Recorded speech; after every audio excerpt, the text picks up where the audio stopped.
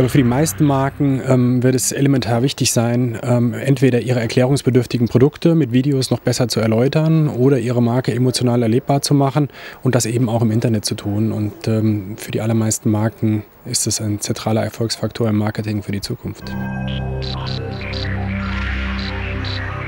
YouTube kann Marken eine eigene Identität ähm, innerhalb der, der YouTube-Plattform geben mit einem eigenen Channel. Also Marken können dort eigene Channels eröffnen und das als Ausgangspunkt nehmen für ihre werblichen Aktivitäten bis hin zu der Möglichkeit, ähm, Videos auf ihrer eigenen Webseite nochmal zu spiegeln.